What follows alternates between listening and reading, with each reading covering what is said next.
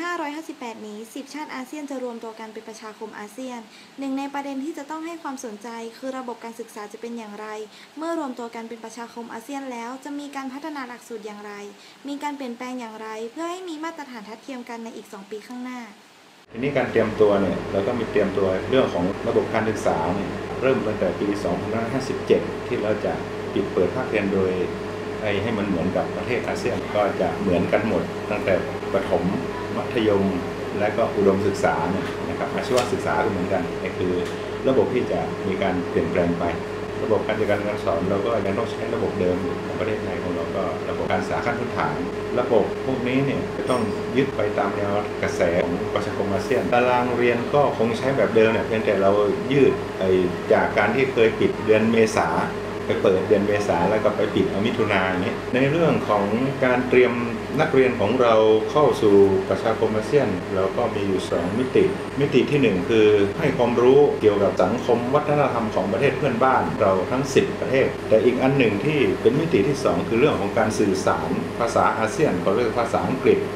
ตพื้นที่ของเราเนี่ยก็พยายามอย่างยิ่งที่จะเตรียมตัวนักเรียนเกี่ยวกับด้านการสื่อสารภาษาอังกฤษ ผลสำเร็จทางการเรียนของนักเรียนของเราต่ำกว่าระดับประเทศ เราไปวัดดูเด็กที่ทำข้อสอบเก่งๆเนี่ยก็ยังสื่อสารภาษาอังกฤษได้ไม่ดีเท่าที่ควร ขณะนี้โรงเรียนที่เราเปิดเป็น 2 ภาษาเนี่ยคือโรงเรียนอนุบาลพะเยาที่ในสังกัดของเราเนี่เปิดห้องเขาเรียกว่า MEP Mini English Program เปิดอยู่ 4 ห้อง เรียนอยู่ 5 วิชาที่เป็นภาษาอังกฤษ 1 ภาษาอังกฤษเอง วิทยาศาสตร์ 3 คณิตศาสตร์ 4 สังคม สุขศึกษา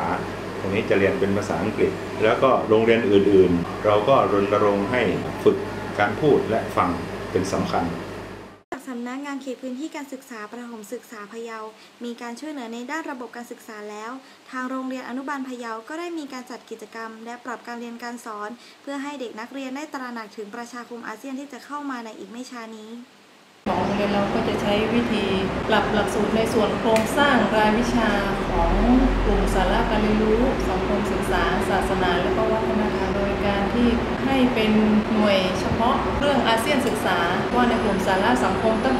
ตั้งแต่ชั้นป .1 ถึงชั้นป .6 มีกิจกรรมบูรณาการการเรียนรู้สู่ประชาคมอาเซียนอย่างในวันอาเซียนวันที่ 8 สิงหาของทุกปีโรงเรียนก็จะจัดกิจกรรมบูรณาการพวกกลุ่มสาระการเรียนรู้แล้วก็ลงสู่การปฏิบัติทุกกลุ่มสาระทุกระดับชั้นเข้ามาวิเคราะห์มาตรฐานการเรียนรู้แล้วก็ตัวชี้วัดที่สัมพันธ์กับอาเซียน อย่างเช่น ทุกระดับชั้นต้องทดสอบก่อนเรียน ในส่วนของกิจกรรมอื่นก็มีกิจกรรมอนุบาลพะเยาก้าวสู่อาเซียนในการที่นักเรียนเป็นผู้จัด EY Channel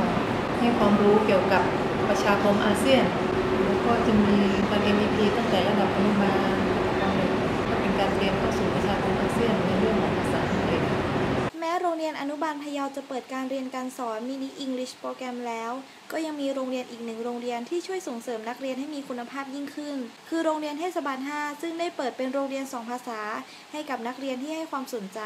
โรงเรียนเทศบาล 5 รับผิดชอบประเทศฟิลิปปินส์ในโรงเรียนของเราเองเนี่ยเริ่มเตรียมตัวมาตั้งแต่ปี 54 แล้ว ขอเปิดโรงเรียนอนุบาล 2 ภาษา ภาษาไทย ภาษาอังกฤษจนถึงอนุบาล 3 แล้ว ก็เป็นที่ยอมรับของผู้ปกครองกับในส่วนของประถม ทางโรงเรียนก็จัดหาสื่อไม่ว่าจะเป็นธงรูปภาพเครื่องแต่งกายต่างๆทำทักทายให้นักเรียนได้ฝึก แล้วเพิ่มมาอีกภาษาหนึ่งคือเออเรามีการสอนภาษาจีนด้วยจีน ซึ่งได้รับความอนุเคราะห์จากมหาวิทยาลัยราชภัฏเชียงราย นักศึกษาที่มาจากยูนานก็จะมาสอนเราในเทอมที่ 2 สอนตั้งแต่ระดับชั้นอนุบาล ไปจนถึงป .6 ครับอันนี้เป็นการเตรียมตัวเข้าสู่อาเซียน สิ่งที่จะต้องเกิดขึ้นในปี 2558 นี้ คือการเปิดเสรีอาเซียน ซึ่งการปรับตัวระบบการศึกษาไทยเป็นสิ่งที่ไทยจะต้องตื่นตัวเสมอ ไม่ว่าจะเป็นระดับอนุบาล ประถมศึกษา มัธยมศึกษา อุดมศึกษา